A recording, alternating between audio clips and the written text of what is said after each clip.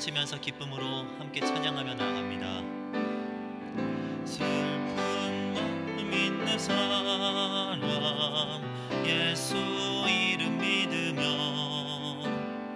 영원토록 변함없는 기쁜 마음 얻으리 예수의 이름이 세상의 소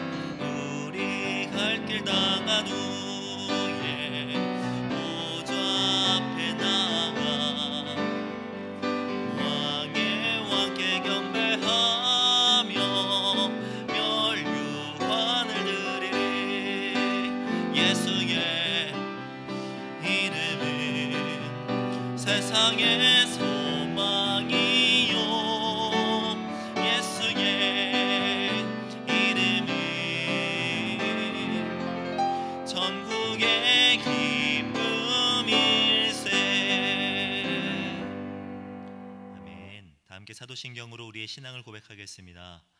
전능하사 천지를 만드신 하나님 아버지를 내가 믿사오며 그 외아들 우리 주 예수 그리스도를 믿사오니 이는 성령으로 잉태하사 동정녀 마리아에게 나시고 본디오 빌라도에게 고난을 받으사 십자가에 못 박혀 죽으시고 장사한 지 사흘 만에 죽은 자 가운데서 다시 살아나시며 하늘에 오르사 전능하신 하나님 우편에 앉아 계시다가 저리로서 산 자와 죽은 자를 심판하러 오시리라 성령을 믿사오며 거룩한 공예와 성도가 서로 교통하는 것과 죄를 사하여 주시는 것과 몸이 다시 사는 것과 영원히 사는 것을 믿사옵나이다. 아멘. 찬송가 540장 함께 찬양하겠습니다.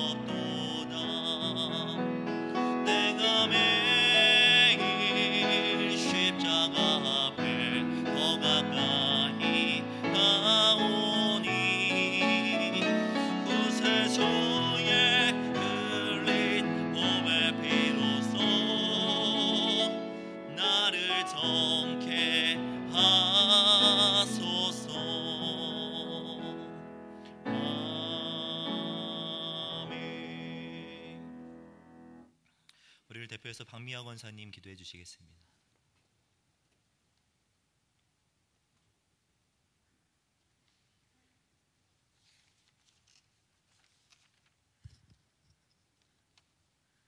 주의 권능 어, 주의 권능과 영광을 보기 위해 거룩한 성전에 모일 수 있는 은혜를 주시고 예배의 자리에서 함께 찬양하며 주님의 영광을 보게 하심에 감사드립니다. 십자가의 고통 가운데서도 어머니를 생각하시고 부탁하신 주님의 사랑을 보며 우리의 모습을 돌아봅니다. 부모와 형제, 이웃에게 성김을 다하지 못함과 작은 지체인 혀도 지체 어, 절제함이 없어 다툼과 상처로 일어난 허물을 용서하여 주십시오. 우리의 회개가 십자가를 통과하는 회개가 되도록 도와주셔서 날마다 거룩함과 진실함과 화목함으로 옷 입혀 주시옵소서. 또한 한국 교회가 나라와 민족의 제약을 담당하며 전심으로 주님의 얼굴을 구하며 회개할 때 하나님의 교회의 거룩성을 회복할 수 있도록 도와주시옵소서. 나라와 민족이 주님의 편에 서게 하시고 영원한 위로와 소망이 되시는 주님을 경배하며 새롭게 하여 주시옵소서. 서울 홍성교회가 목민센터가 되기 위해 반경 2km 내 복음과 사랑에 소외된 이웃이 없기를 기도하며 복음을 전파하고 사랑을 나누며 세워져 갈 때 이 지역들이 holiness valley가 되고 브라가 골짜기가 되는 거룩한 땅이 되도록 주님의 영광의 빛을 비추어 주시옵소서. 다음 세대와 장년들이 침상에서 주를 기억하고 아침마다 말씀을 묵상하며 주님과 가까이 할 때 골수와 기름진 것을 먹음 같이 그들의 영혼에 만족함을 주시고 강건할 수 있도록 힘을 더하여 주옵소서. 생명수가 없어 마르고 황폐한 땅 열방에서 생명을 얻지 못하고 죽어가는 저들 가운데 보내신 선교사님들을 보호하시고 말씀이 선포되고 구원의 띠임을 알게 하사 주님을 간절히 찾는 열방이 되게 하여 주시옵소서. 주께서 사랑하시는 김현민 목사님께 주의 권능을 부어 주시고 여호와를 경외하는 영으로 충만케 하셔서 말씀을 선포하는 미첩한 마음과 혀를 주심에 듣는 성도들의 삶을 살찌게 하시고 주의 날개 그늘에서 즐겁게 주님을 찬양하는 성도의 삶을 살아갈 수 있도록 도와주시옵소서. 우리를 구원하심이 보좌에 앉으신 어린이 함께 있음을 선포하며 우리의 생명보다 주의 인자하심을 찬양하며 곧 다시 오실 왕 예수 그리스도 이름으로 기도드립니다. 아멘.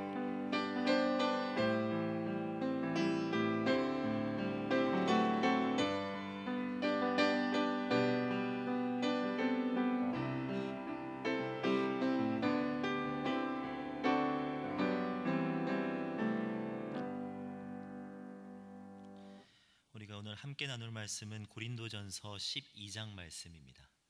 고린도전서 12장 12절부터 31절까지의 말씀을 보겠습니다. 고린도전서 12장 12절로부터 31절까지의 말씀을 보겠습니다. 제가 가지고 있는 성경으로 신약 성경 278페이지에 있습니다.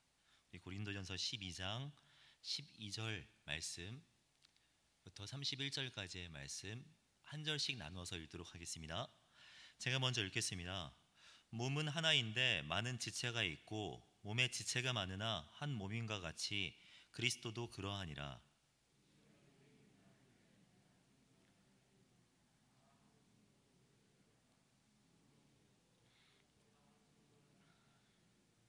몸은 한 지체뿐만 아니요 여럿이니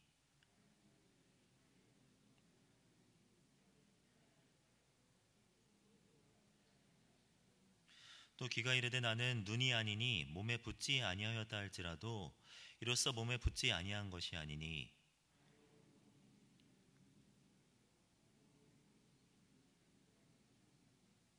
그러나 이제 하나님이 그 원하시는 대로 지체를 각각 몸에 두셨으니 이제 지체는 많으나 몸은 하나라.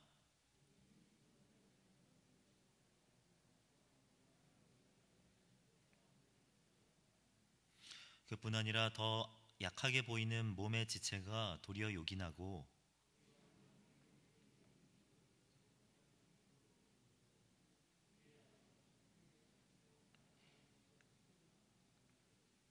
우리의 아름다운 지체는 그럴 필요가 없느니라. 오직 하나님이 몸을 고르게 하여 부족한 지체에게 귀중함을 더하사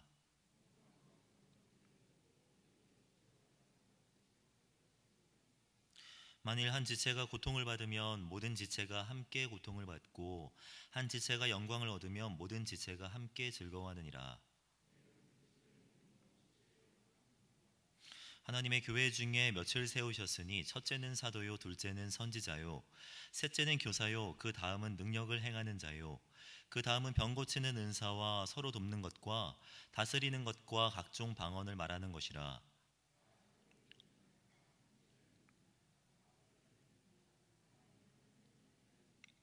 다 병 고치는 은사를 가진 자이겠느냐? 다 방언을 말하는 자이겠느냐? 다 통역하는 자이겠느냐? 너희는 더욱 큰 은사를 사모하라. 내가 또한 가장 좋은 길을 너희에게 보이리라. 아멘. 교회 소식 말씀드리겠습니다. 오늘 어, 주일 예배가 어, 이른 예배 7시 1부 예배 9시 2부 예배 11시로 드립니다. 어, 이번 주는 특별히 교회 설립 62주년 기념주일 및 교사주일로 지킵니다 이를 위해서 미리 깨어서 기도해 주시기를 부탁드립니다. 결혼 소식입니다. 조종윤 집사님의 장녀 이수연 자매 결혼식이 오는 토요일 오후 2시에 펜트하우스 홀 이스턴 베니비스에서 있습니다. 이동진 성도님과 도양숙 권사님의 장남 이병주 형제의 결혼식이 동일하게 오는 토요일 오후 2시 30분에 스칼라티움에서 있습니다. 많이 참여해 주시고 축하해 주시기를 부탁드립니다. 교회 공동의 기도 제목을 가지고 함께 기도하는 시간을 갖겠습니다. 첫 번째 부모 세대가 본당 예배와 가정 예배를 통해 하나님을 경외하는 본을 자녀 세대에게 보이게 하소서. 다음 세대 교사들이 한 영혼 속에 복음과 하나님 나라의 비전을 심는 목자가 되게 하소서. 마지막으로 방글라데시 연해주 파송 선교사님들 가정들을 눈동자처럼 지키시고 성령의 위로와 권능이 넘치게 하여 주시옵소서. 이 세 가지 기도 제목 붙들고 함께 기도하겠습니다. 사랑하는 받으신 하나님, 우리와 함께하여 주시고 우리와 동행하여 주시며 우리가 부르짖는 기도에 응답하여 주시는 은혜에 참으로 감사를 드립니다. 우리가 부르짖으며 나아갈 비밀한 역사 우리 가운데 허락하여 주시고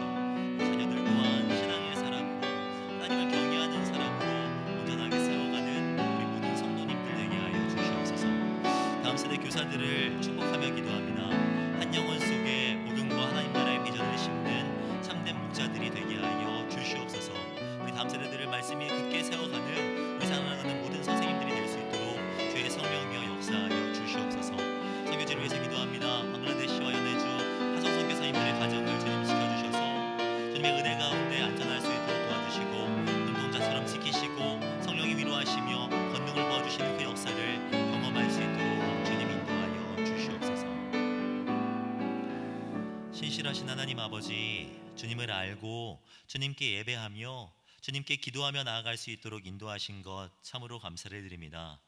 우리 가운데 역사하시는 하나님을 깊이 경험하는 이 시간이 되게 하여 주시옵소서. 부모 세대가 본당 예배와 가정 예배를 통하여서 하나님을 경외하는 본을 자녀 세대에게 보이게 하시고 부모의 입술과 삶으로 자녀들에게 신앙을 가르치고 전수할 수 있도록 지혜와 은혜를 허락하여 주시옵소서.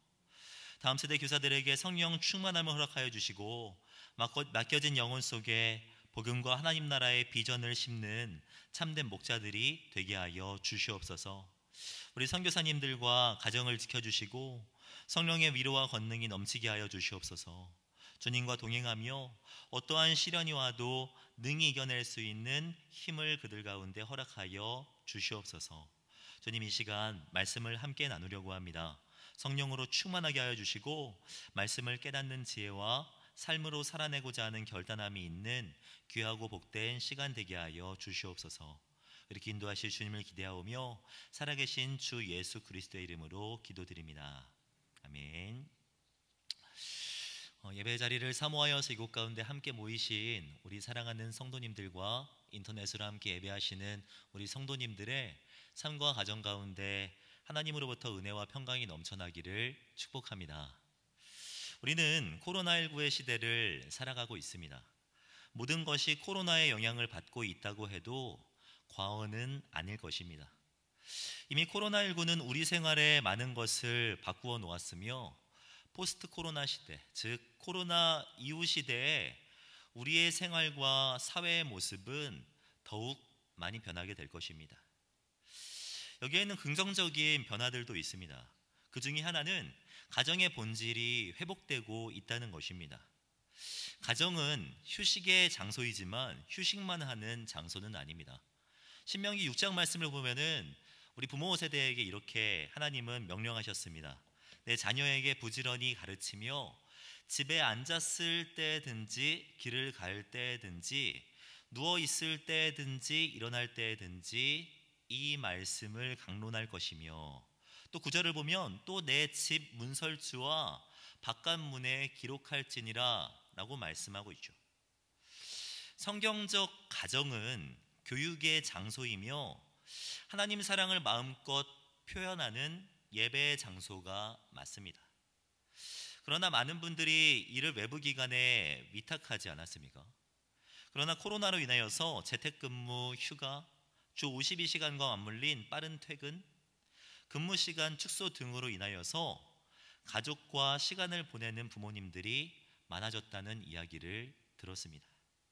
갑작스러운 변화에 힘들어하는 부모님들 많이 계시겠지만 가정에서 대화하고 가정에서 자녀를 교육하며 가정에서 모여서 예배하는 모습들이 많아진 것은 긍정적인 변화이지요. 이와 같은 긍정적인 요소가 있는 반면에 코로나로 인한 변화 중에서 조심스러운 것도 있습니다. 저는 그 중에서도 비대면 사회의 가속화가 걱정이 됩니다. 코로나로 사회적 거리두기를 실천하면서 많은 분들이 비대면 문화에 익숙해져 가고 있는 것 같습니다. 최근에 나온 말 중에 untact라는 말이 있습니다. 이는 접촉하다라는 의미의 contact에 부정어인 un이라는 이 단어를 합성한 말로서 사람과의 접촉을 지양하는 것을 의미합니다. 사람들과 거리를 두며 사람들의 개인주의화는 더욱 심해져만 가고 있죠. 한편에서는 이것이 새로운 문화라고 이해하고 넘어가지만 한편에서는 비대면 문화가 자리 잡는 것에 대한 우려들도 나오고 있는 것이 사실입니다. 교회들은 어떻습니까? 교회도 비대면 사회와 관련한 고민들을 해야 할 때라고 생각합니다. 우리 교회는요, 여전히 교회를 사모하는 분들이 많이 계십니다. 코로나19로 인하여서 모이지 못하는 이 두 달 동안 공동체를 사모하는 마음이 너무나도 커서 현장에 찾아오시면 안 됐음에도 불구하고 현장에 찾아오시는 성도님들 계셨어요. 또 시간이 지나서 5월 초가 되어서 새벽 예배 및 본당 예배를 오픈했을 때 적극적으로 새벽에 또 주일에 예배당을 찾으시는 분들 많이 보게 되었습니다. 그런 분들을 보면서 감격을 금하지 않을 수가 없었죠. 장년 세대만 그런 것이 아닙니다. 5월 3일에 어린이 주일을 맞이하여서 우리 다음 세대 부서에서는 drive through, walking through라고 해서 어린이들과 다음 세대들에게 선물 나눠주는 사역을 감당했습니다. 예상했던 인원은 210명에서 220명 정도 되는 인원이었는데 아이들이 적극적으로 찾아와서 250명이나 되는 친구들이 교회에 찾아와서 예배도 드리고 교제도 나누었죠. 이처럼 공동체에 마음이 크신 분들 많이 계시지만 한편으로는 꼭 모여야 하는가에 대한 질문들을 하시는 분들도 계십니다. 예배와 교회에 대한 부정하는 의견을 갖는 것이 아닙니다. 하나님을 사랑하고 예배를 사모하는 마음이 있지만 집에서 혼자 예배하는 것이 너무나도 익숙해져서 이제는 이것이 편하기에 인터넷으로 나는 온전히 예배하겠다라고 고백하는 사람들이 있죠. 물론 이분들이 많지는 않지만 이분들의 말들도 어느 정도 일리가 있는 생각이다라는 생각이 듭니다. 잘 아시겠지만 교회란 공간이나 건물은 아니에요. 교회가 무엇이냐고 물어보았을 때 많은 사람들은 건물로서의 교회를 생각합니다. 그러나 엄밀히 따지자면 교회는 건물이 아닙니다. 교회라는 명칭이 처음 사용됐던 것은 출애굽 시절 광야에서 함께 모여서 예배한 사람들을 가리켜서 광야 교회라고 불렀습니다. 광야에서 매일매일 이동해야 하는데 건물을 세울 수가 있었겠습니까? 건물을 세울 수가 없었죠. 그러나 성경은 그들을 가리켜서 교회라고 칭하고 있습니다. 그렇다면 교회란 무엇입니까? 일반적으로 교회에 대해 설명하면서 고린도전서 1장을 예로 들어서 예로 들어 설명하곤 합니다. 고린도전서 1장을 보면 고린도에 있는 하나님의 교회 곧 그리스도 예수 안에서 거룩하여지고 성도라 부르심을 받은 자들과 또 각처에서 우리의 주, 곧 그들과 우리의 주 대신 예수 그리스도의 이름을 부르는 모든 자들에게 라고 말씀하고 있습니다. 바울은 편지하면서 수신자를 고린도에 있는 하나님의 교회라고 표현합니다. 하나님의 교회라고요. 그러면서 이 고린도에 있는 하나님의 교회가 무엇을 가르키는지 바로 이어서 설명하고 있죠. 하나님의 교회는 첫째로 그리스도 예수 안에서 거룩하여지고 성도로 부르심은 부르심을 받은 자들 그 자체가 교회라고 이야기합니다. 또한 둘째로 각 처에서 우리의 주 예수 그리스도의 이름을 부르는 모든 자들, 예수님의 이름을 부르는 모든 자들을 가리켜서도 교회라고 이야기하고 있습니다. 고린도에 있는 교회도 건물이 아니었습니다. 성도라고 부르심을 받은 또 그리스도의 이름을 부르는 모든 성도님들, 그 성도님들 자체가 교회라고 할 수 있죠. 예수님을 믿고 성령의 충만함을 받은 나 한 사람이 성전입니다. 성전. 그리고 그 성전된 사람들이 만나서 무리를 이룬 것이 바로 교회입니다. 이런 의미에서 생각했을 때 거룩한 남편과 아내가 함께 하는 것이 교회고 예수님을 주로 고백하는 자녀들과 함께 하는 것이 바로 가정 교회입니다. 그렇기 때문에 우리가 코로나19 상황 속에서 두 달 동안 가정에서 온라인으로 예배한 것도 가정 교회로서 하나님의 기쁨이 되기에 충분했을 것이라고 생각합니다. 교회마다 이런 결정을 한 것은 하나님 나라를 전파해 나아가야, 나아가야 하는 교회로서 잘한 결정일 것이고 이러한 결정과 매주 드리는 가정의 예배가 하나님께 온전한 예배로 드려졌다고 저는 생각합니다. 하지만 그렇다고 해서 집에서 예배해도 되느냐? 인터넷으로 예배를 계속하는 것에 대해서 저에게 누군가가 물어본다면 저는 계속해서는 가정에서는 계속해서 가정에서 예배드리면 안 된다고 분명하게 말할 것입니다. 왜냐하면 성경과 전통은 개개인의 교회됨에 대해서 분명하게 이야기하지만 동시에 공교회의 중요성도 매우 강조하고 있기 때문입니다. 우리가 믿고 있는 신앙에는 공교회의 가치를 포함합니다. 우리의 신앙 고백인 이 사도신경을 보시면요. 전능하사 천지를 만드신 하나님을 믿사오며로 시작하여서 성령을 믿사오며 거룩한 공예와 성도가 서로 교통하는 것과 죄를 사하여 주시는 것과 몸이 다시 사는 것과 영원히 사는 것을 내가 우리 공동체가 믿습니다라고 고백하는 것이죠. 우리가 믿는 신앙 고백 안에는요, 거룩한 공회, 새로 번역된 사도신경을 보면 거룩한 공교회에 대한 가치를 포함하고 있고 우리는 날마다 이 신앙을 고백하고 있습니다. 여기서 말하는 이 거룩한 공교회란 원어적으로 보면 거룩한 보편적 교회를 말합니다. 거룩한 보편적 교회는 무엇을 의미하는 것입니까?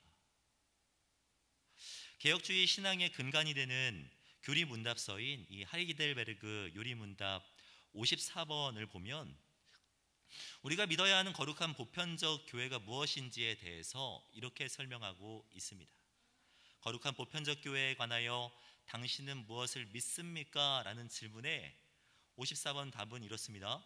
하나님의 아들이 세상의 시작과 끝날까지 모든 인류로부터 택하신 교회를 참된 믿음의 연합 속에서 모으시고 보호하시며 성령과 말씀으로 보존하시는 것을 믿으며 그 교회 속에서 살아있는 구성원으로서 영원히 머물게 될 것을 믿습니다. 라고 이야기하고 있죠. 교회란 앞서 말씀드린 것과 같이 모든 인류로부터 택하신 성도, 즉 부름을 받은 성도가 교회입니다. 그러나 교회에 대한 강조는 여기에서 끝나지 않습니다. 하나님은 교회된 우리를 보호하시며 보존하시기 위하여서 다시금 모으셨는데 그것 또한 교회라고 이야기하고 있죠. 엄밀히 따지자면 교회된 성도들이 모였다 해서 교회 공동체, 교회 공동체라고 칭하는 것이 맞습니다. 우리 서울홍성교회도 우리말로 하면은 서울홍성교회이지만 영어 이름을 보면은 이 공동체라는 의미인 커뮤니티를 포함하여서 서울홍성 커뮤니티 철치라고 되어 있는 것을 볼 수가 있습니다. 이렇게 부르는 것이 엄밀히 따지면 맞는 거죠. 교회인 성도들이 모인 공동체, 교회 공동체라고 해서 말입니다. 우리가 거룩한 공교회를 믿는다는 것은요, 나 스스로가 거룩한 산 제물로서 드려지는 예배자가 되었다는 것만을 믿는 것이 아닙니다. 예배자로서 교회됨과 동시에 교회 공동체의 구성원으로서 소속되어 이 교회 공동체에 영원히 머물게 될 것임을 믿는다는 고백이 포함되어 있는 것이죠. 성경을 보아도 이와 같이 교회 공동체의 가치와 필요성에 대해서 이야기하는 말씀을 어렵지 않게 찾아볼 수 있습니다. 오늘 본문도 바로 여기에 해당된다고 생각합니다. 오늘 본문을 통해 교회 공동체가 우리에게 반드시 있어야 하는 이유, 우리에게 반드시 필요한 이유는 무엇인지 두 가지만 살펴보기를 원합니다. 먼저 교회 공동체가 우리에게 필요한 이유는요. 교회 공동체는 한 몸이요, 한 가족이기 때문입니다. 본문을 보면 바울은 교회가 한 몸이고 한 공동체임을 힘주어서 이야기합니다. 본문 13절 말씀을 보시면 우리가 유대인이나 헬라인이나 종이나 자유인이나 다 한 성령으로 세례를 받아 한 몸이 되었고 또 한 성령을 마시게 하셨느니라 라고 말씀하고 있습니다. 유대인이나 헬라인, 종이나 자유인은 완전히 반대되는 입장입니다. 말과 행동, 삶의 모든 부분이 상반되는 사람들이었습니다. 그러나 성령 안에서 이 모든 사람들이 한 몸이 되었다라고 이야기하고 있는 것이죠. 본문의 27절을 보면 더욱 질설, 직설적으로 표현하고 있습니다. 너희는 그리스도의 몸이라고 말입니다. 몸이란 연결된 조직으로 때려야 뗄 수 없는 유기체입니다. 몸이 얼마나 놀랍습니까? 제가 설교를 준비하면서 자료를 찾아보니까 어, 이 허리의 유연성 테스트를 할 때 이제 허리를 숙여가지고 손을 쭉 내려서 유연성 테스트를 하지 않습니까? 순간적으로 이제 이걸 더 유연하게 만들기 위해서는요, 여기 어금니 뒤쪽 근육이지 않습니까? 여기를 이렇게 이렇게 해서 돌리면 여기 어금니 뒤쪽에 있는 근육과 허리에 있는 신경이 연결되어 있어 가지고 이게 내렸을 때 순간적으로 더 많이 내려간다고 합니다. 신기하지 않습니까? 네, 지금 뭐 해보시는 분도 계신데 이것뿐만이 아닙니다. 저희 음식을 급하게 먹었을 때 이제 체하게 되는데 체하게 됐을 때 약을 먹고 치료하는 경우도 있지만 우리 어르신들은 예로부터 이 손가락 엄지부터 해가지고 따거나 발가락을 이제 따주셨죠. 신기하게도 이 소화기관이랑 전혀 상관이 없는 것 같은데 엄지 손가락이나 발가락을 땄을 때그 체기가 내려가는 것을 아마도 경험해 보셨을 것입니다. 그만큼 몸은요 전체가 하나로 연결되어 있는 것입니다.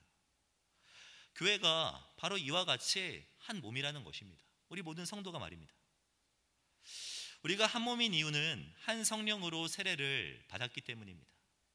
성령으로 세례를 받았다는 것은 그리스도를 구주로 모셔 드렸다는 것이고 이는 우리가 그리스도로 말미암아 하나님의 자녀가 되었다는 것입니다.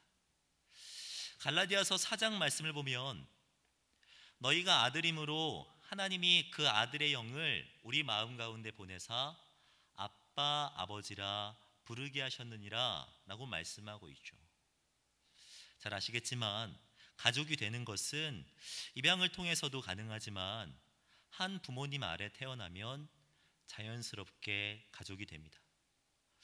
우리는 성령을 통하여서 하나님 아버지의 자녀가 되었습니다. 그렇기 때문에 교회 공동체를 혈연 공동체요 가족 공동체라고 칭할 수 있는 것이죠. 교회 공동체는 그리스도 안에서 한 가족 공동체입니다. 우리 모든 지체들은 주님 안에서 한 가족이죠. 종교개혁자 칼빈도 교회는 성도들의 어머니입니다 라고 이야기하면서 교회가 가족임을 강조했던 것을 볼 수가 있습니다. 가족이란 어떤 모습을 보여야 합니까? 히브리서의 말씀처럼 서로 돌아보아서 사랑으로 서로 격려하는 모습을 보여야 하고 가족이라면 여기 뒤에 말씀에 기록된 것처럼요. 사도행전에 있는 말씀처럼 마음을 같이하여 모이기를 힘쓰고 떡을 떼며 기쁨과 순전한 마음으로 음식을 함께 먹는 사람들 그런 사람들이 가족 아니겠습니까? 가족을 우리나라 말로 식구라고도 표현하듯 함께 먹을 것과 좋은 것을 나누는 것이 바로 가족의 모습일 것입니다. 저는 어려서부터 신앙생활하면서 교회의 가족됨을 많이 보면서 자랐습니다. 자신이 힘들고 어려운 상황 가운데에서도 구역 식구, 그 당시 구역 식구들 그렇게 챙기느라 에너지 쏟고 재정 쏟고 땀 흘려 수고하시고 기도하시는 성도님들의 모습 너무나도 많이 보고 자랐습니다. 그리고 지금은요 서울 공동체 서울홍성 공동체 안에서 가족됨을 저는 참 많이 느낍니다. 잘 아시겠지만 저는 여기에서 교제하는 사람도 만났고요. 여기에서 결혼도 하고 결혼한 해에 목사 한수도 받았습니다. 그뿐만 아니라 여기에서 아들도 하나 얻었고요. 지금은 둘째는 언제 낳냐고 하는 진짜 성도님들의 이런 이야기들을 들으면서 아 이게 진짜 참 가족과 같구나 라는 부분을 여기에서 느낍니다. 그뿐입니까? 새벽 기도나 심야 기도 때, 심야 기도회 때 오면 기도하시는 우리 성도님들의 목소리를 들어보면 성도들의 기도 제목들을 마치 자신의 기도 제목과 같이 마음에 품고 기도하시는 분들 정말 어렵지 않게 찾아볼 수 있어요. 많은 분들이 성도님들의 기도 제목을 마치 자신의 기도 제목으로 여기고 기도하고 계시죠. 이것이 가족이고 참된 공동체 아니겠습니까? 혹자는 코로나19로 인하여서 비대면 사회가 가속화되는 것에 걱정하기도 합니다. 한 신문에서 한국교회 포스트 코로나 시대를 걱정하면서 가나안 성도, 이 거꾸로 하면 안 나가 성도 아닙니까?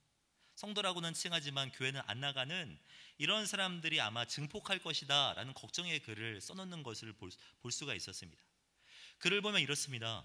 인터넷으로 가정에서 예배를 드리는 것이 지속되어 습관이 되면 교회 공동체와의 인격적 관계가 끊어져서 교회 소속감이 희박해지게 된다. 이럴 경우 교회당에서의 예배가 회복되더라도 교회당에서 예배드리는 성도들이 감소하는 결과적으로 가난한 성도들이 증가할 수 있습니다. 라고 이야기했죠. 저는 이 필자의 이러한 주장이 어느 정도는 이해가 되지만 저는 이 글에 동의하지 않습니다. 왜냐하면요. 우리는 가족 공동체이고 가족은 잠시 떨어질 수는 있지만 끊어질 수는 없는 공동체이기 때문입니다. 이럴 때일수록 우리는 교회의 한 몸이요 가족됨을 기억할 필요가 있습니다. 주님이 교회를 사랑하셨듯이 더욱 교회를 사랑하시고 주님에게 우리가 중심이 되었듯이 이 교회를 마음에 품고 기도하셔서 사랑하는 이 가족, 가족 공동체, 우리 서울홍성 공동체를 함께 세워 가시는 저와 성도님들이 되시기를 주님의 이름으로 축복합니다. 또한 교, 회 공동체가 필요한 두 번째 이유는 무엇입니까? 마지막으로 성도는 교회 공동체를 통하여서 성장할 수 있기 때문에 성도들에게 교회 공동체는 필요합니다. 조금 더 극단적으로 말씀드리면 성도는요, 교회를 통해서만 성장할 수 있습니다. 교회의 기능 중 하나는 교육하는 데 있습니다. 예수님께서 승천하시면서 너희는 가르쳐 지키게 하라 라고 말씀하시고 승천하셨습니다. 교회는 반드시 가르쳐야만 하고 성도는 교회 공동체 안에서 성장을 이루어 가야만 합니다. 이 스위스의 작가인 폴 트루니에는요, 혼자서는 할 수 없는 것이 이 세상에 두 가지 있다라는 이야기를 했습니다. 혼자서 할 수 있는 두 가지는 첫 번째는 결혼이고 또 하나는 그리스도인이 되는 것. 성도다운 삶을 살아가는 것. 그것은 혼자 할 수 없다라고 이야기한 것이죠. 요즘 비대면 사회 속에서 그런 용어들 많이 들어보셨을 것입니다. 혼밥, 뭐 혼술, 혼영, 혼놀 이런 거 들어보지 않으셨습니까? 혼밥이 무엇입니까? 혼자 밥 먹는 거. 이걸 줄여서 혼밥이라고 합니다. 혼 놀은요, 혼자 노는 것이 혼 놀입니다. 혼 놀, 혼밥, 혼자 영화 보든 혼영 이런 것들 모두 다 혼자 할 수 있는 것처럼 보이지만 혼자 할 수 없는 것이 있는데 혼인은 혼자 할 수 없죠. 그런 것처럼 그리스도인이 그리스도인답게 살아가고 점점 예수 그리스도를 닮아가는 모습을 위해서는 혼자 할 수 없이 교회 공동체가 필요하다라고 이 폴트루니에는 주장하고 있는 것입니다. 오늘 본문에서 바울이 주장하는 것도 이와 일맥상통합니다. 바울은 하나님께서 교회 안의 성도들의 성장을 위해 다양한 사람들을 세워주셨다라고 본문에서 이야기합니다. 그리고 그 다양함을 성도는 인정해야 한다라고 말씀하고 있죠. 본문 15절 말씀입니다. 우리 15절 말씀, 16절 말씀을 한 목소리로 읽겠습니다. 시작. 만일 발이 이르되 나는 손이 아니니 몸에 붙지 아니하였다 할지라도 이로써 몸에 붙지 아니한 것이 아니요 또 귀가 이르되 나는 눈이 아니니 몸에 붙지 아니하였다 할지라도 이로써 몸에 붙지 아니한 것이 아니니라고 말씀하고 있죠. 바울은 교회 안에서는 반드시 하지 말아야 될 것, 해서는 안 되는 것이 있는데 그것은 나와 다른 지체가 불필요하다는 말입니다. 나와 다른 지체가 불필요하다 내지 저 지체만 없으면 아 저분만 없으면 이라는 태도를 지양해야 한다라고 이야기하고 있습니다. 이러한 태도는 신체 중에서 손이 없어도 된다거나 눈은 없어도 된다는 고백이며 오늘 본문 17절과 같이 온 몸이 마치 눈이거나 온 몸이 동일하게 냄새 맡는 곳이어야만 한다는 주장과 같은 표현이죠. 이는 말도 안 되는 표현이라고 할 수 있습니다. 하나님께서는 우리 공동체 내에 분명한 목적을 가지고 한 사람 한 사람을 허락하여 주셨습니다. 우리 눈에는 불필요해 보일지 모르나 그렇다고 불필요한 존재는 없습니다. 우리의 몸에는 미생물이 많이 살고 있다는 것 아실 것입니다. 특히 이, 이 소화기관인 이 소장과 대장에 이 미생물이 가장 많이 있다고들 하는데 이 장 속에는 이제 여러 가지 그런 균들이 있는데 미생물 중에 유익한 유익균도 있고요. 해가 되는 유해균도 있습니다. 그리고 이 균 중에서는 유익하지도 않고 유해하지도 않은 무익균, 무익균도 있다고 해요. 유익균, 유해균, 무익균. 그 중에서 이제 소화와 흡수를 도와주는 유익균, 또 이제 뭐 배탈이나 복통을 유발하는 유해균, 그리고 전혀 상관이 없는 이제 무익균이 있는데 이 비율이 어떻게 되냐면 유해균이 60% 정도 있고, 아, 30% 정도 있고, 유해균이 어, 10% 정도 있고, 무익균이 60% 정도 있다고 합니다. 유해균은 왜 있는 것일까요? 장 속에 보통, 복통을 유발케 하는 유해균이 10% 미만이 있는 사람들이 있습니다. 5% 심지어 1%밖에 없는 사람들이 있어요. 유해균이 많이 없기 때문에 좋은 것 같은데 그렇지 않더라는 것입니다. 유해균이 없는 이들을 조사했는데 놀랍게도 이 모든 사람들은 자폐성 장애를 앓고 있는 사람들이었다고 합니다. 공동체에 필요 없는 사람은 단 한 사람도 없습니다. 주님이 우리를 이 공동체에 보내신 것처럼 다른 성도들도 분명한 목적을 갖고 우리 가운데 보내주신 것이죠. 동일한 사람과 함께하는 것이 복인 것 같지만 그렇지 않습니다. 내 주변에 있는 사람들이 모두 나와 비슷한 사람이면 좋을 것 같지만 사실 성장이라는 것은요, 나와 다른 사람을 마주하게 될 때 일어나는 것이 맞습니다. 요즘 순금이 참 귀한데요.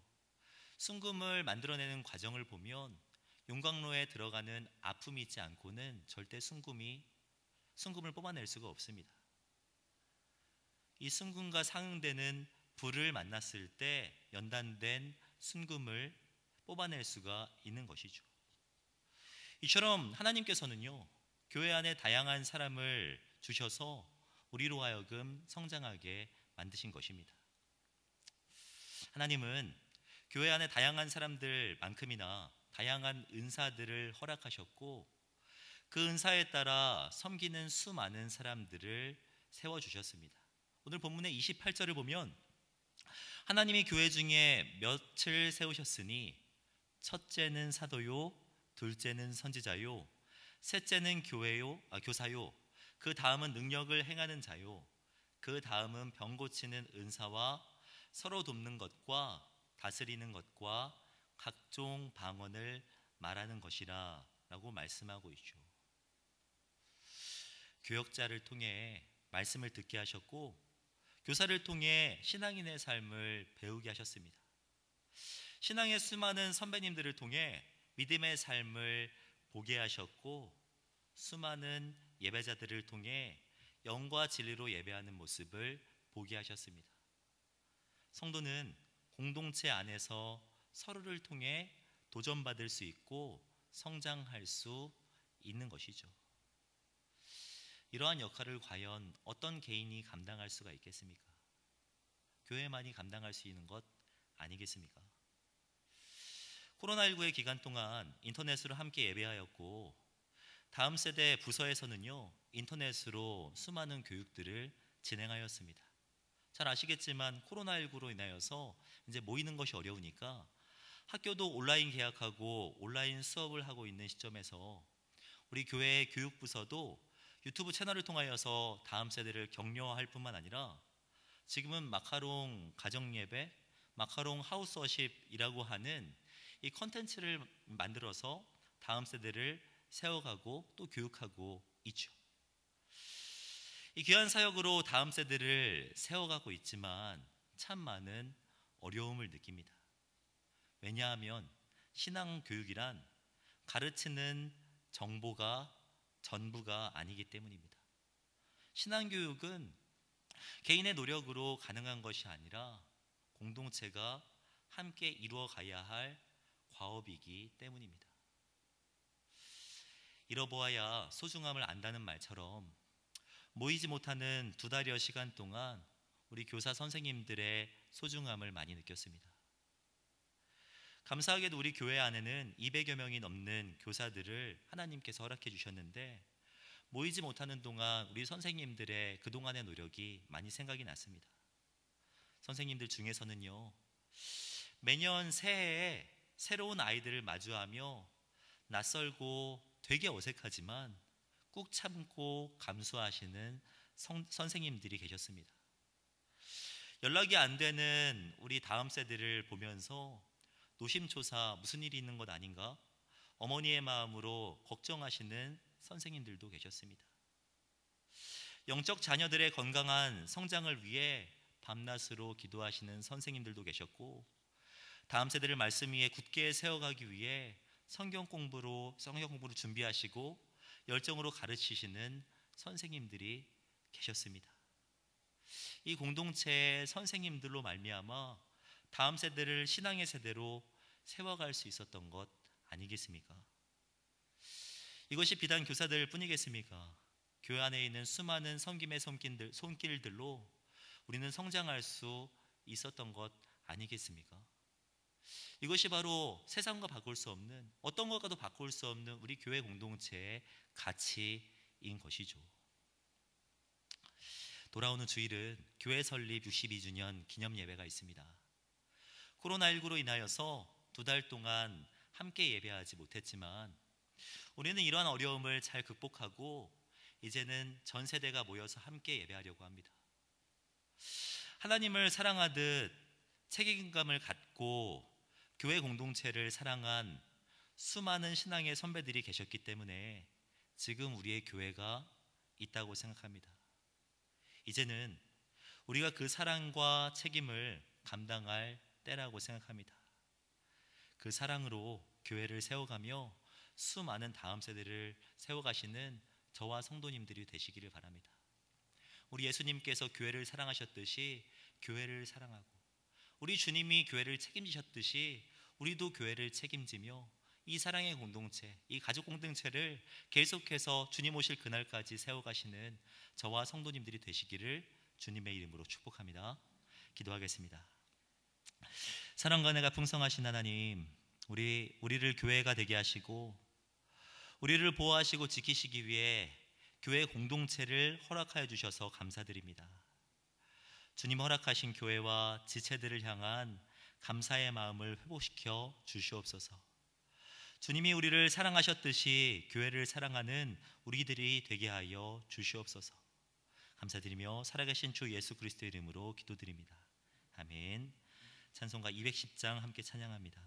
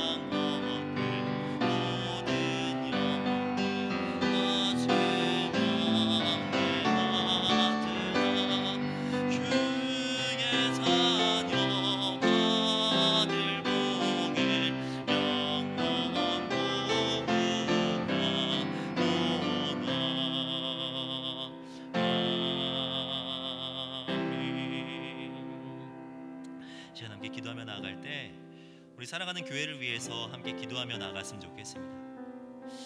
주님이 교회를 사랑하셨듯 우리도 허락하신 교회 공동체를 더욱 사랑하게 하여 주시옵소서. 함께 기도하며 나갔으면 좋겠습니다. 주님을 참되게 예배하는 공동체가 되게 하시고 우리 교회가 날로 교육하고 성장하는 교회가 되게 하여 주시고 참된 교제와 사랑이 넘쳐나는 사랑으로 소문난 교회가 되게 하여 주시옵소서.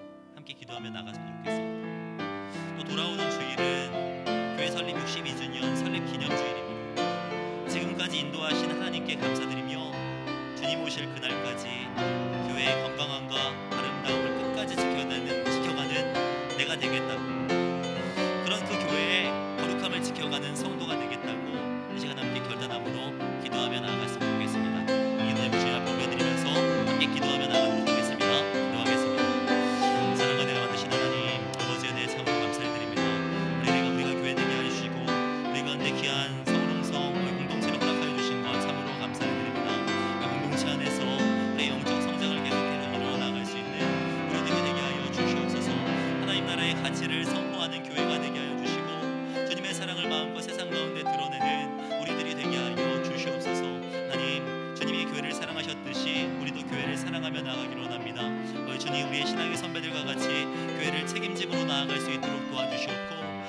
앞에 설 그날까지 이 교회를 사랑으로 책임지며 수많은 다음 세대들을 말씀이 굳게 세워가는 우리들이 될 수 있도록 주님 인도하여 주시옵소서.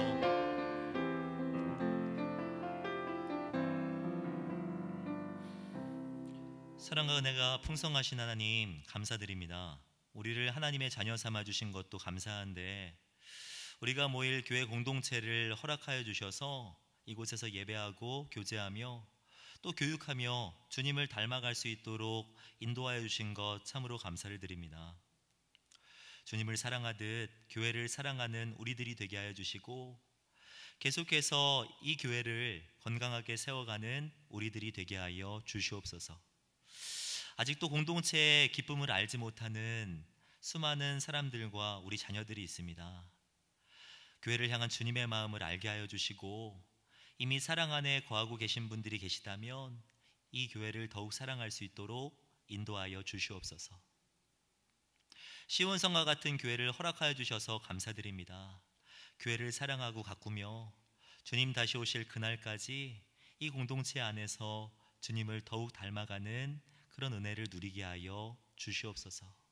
그렇게 인도하실 주님을 기대하오며 이 모든 말씀 주 예수 그리스도의 이름으로 기도하오며 지금은 우리 주 예수 그리스도의 은혜와 하나님의 사랑과 성령님의 교통하심이 교회를 사랑하고 또 교회를 더욱 사랑하겠다고 결단하시는 우리 사랑하는 모든 성도님들의 머리 위에 가정과 교회 위에 이제로부터 영원토록 함께 있을지어다. 아멘.